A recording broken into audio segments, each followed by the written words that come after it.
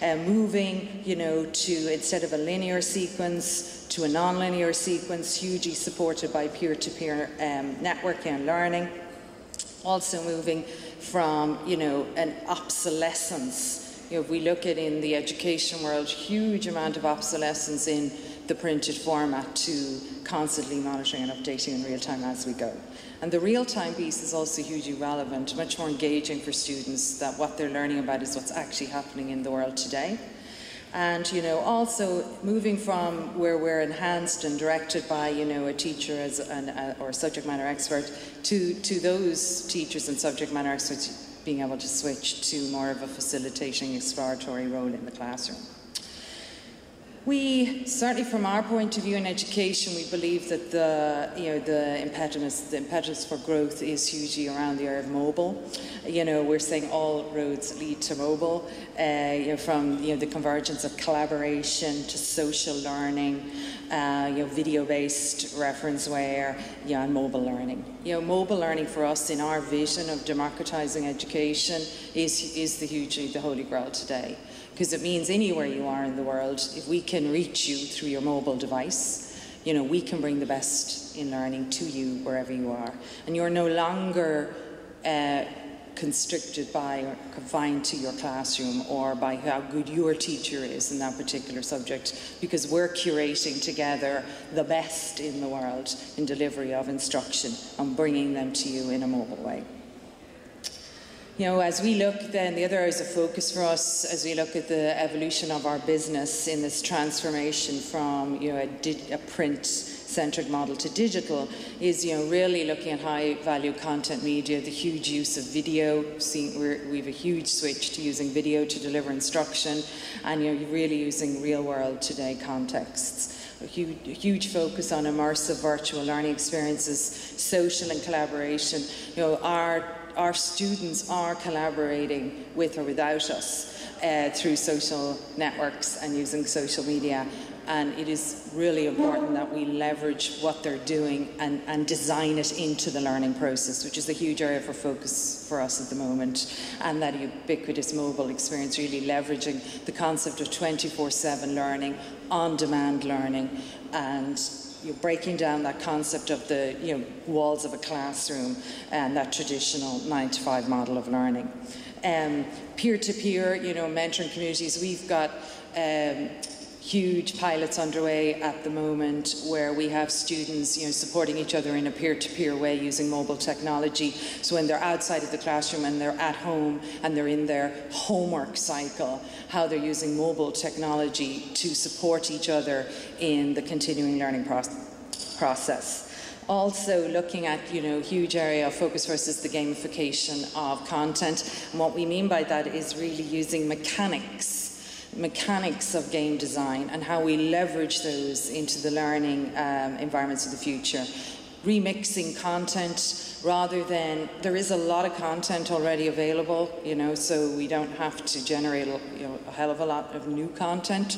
It's really how we remix it uh, for consumption, you know, in, in, in a new way also looking at the whole area of augmented reality and how, again, that can hugely enhance the delivery of our content in an educational context. And of course, with that, we're also looking at whole new di distribution models and e new economic models around our business.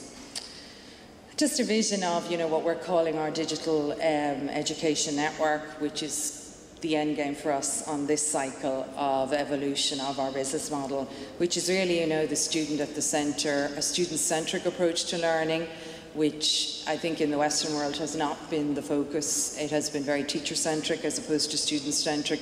So leveraging technology to switch to a student-centric mode of learning, you know, where we can aggregate, as I said, content just in time to meet the individual needs of that student. Uh, curated, they can communicate in a social context, and of course, you know, we're aligning the content to the DNA of that user. So now what I'd like to do is just talk to you about some of the initiatives that we have underway in this region uh, and talk to you a little bit about the localization of educational content. So we've a number of initiatives underway. One is we have localized the entire interactive curriculum, which we call our destination series. So math, reading and science all have been localized and are available now for the Saudi market. We have also completed the localization of all our math and science textbooks for the UAE and we're in the process of uh, completing a very, very large endeavour in conjunction with the Liberian uh, Ministry for Education, which is a blended, a localisation of both the print and digital, you know, provision of uh, a localised delivery platform for the country, um, professional development for all of the educators in the country, and all mobile enabled, but we're also looking at a TV delivery of all of this localized content for Libya. So the localization effort, when we look at uh, educational content, it's a lot more complex than just translating the, the written word or the spoken word.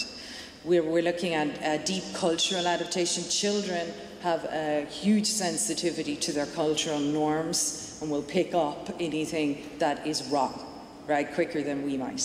Um, so it's both the cultural adaptation, you know, which, which is the graphic and the visual adaptation, as well as the language, uh, and also all of the uh, re-recording of audio, etc. And we have a policy, you know, that for all of our planning of the cultural adaptation, all the re-recording of audio, etc., we will do it in the country where the product will be used to ensure that we capture that local essence. Uh, of course, we do all of the curriculum realignment to the way the curriculum is delivered in that country, lesson plan customization, etc.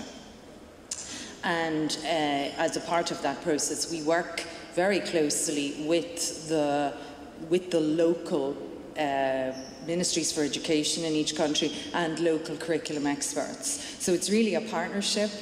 Uh, we have found it hugely successful, the partnerships that we have formed to date uh, in this region and the value add that has had to the overall content adaptation and localization efforts. So very much a partnership, both from an economic point of view in terms of our uh, partnership with teams in the region, but also you know, the overall quality of the product is, is far superior based on those partnerships.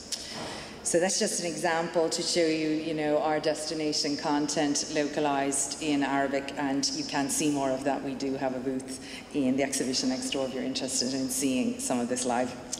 So just in closing then, you know, we, our mission is to democratize education um, by lowering the bar for entry through mobile delivery. Um, we see you know, digital and the digitization of this business as a, a po hugely positive force for advancing this mission. We have this global mission.